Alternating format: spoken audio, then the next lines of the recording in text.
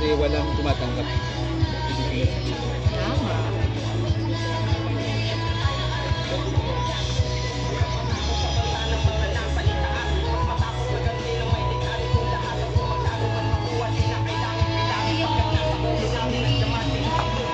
Sinagpa nila yung oras.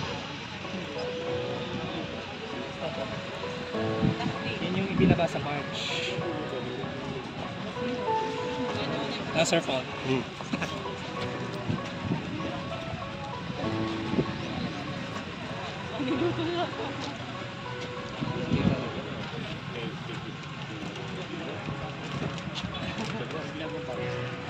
Okay na.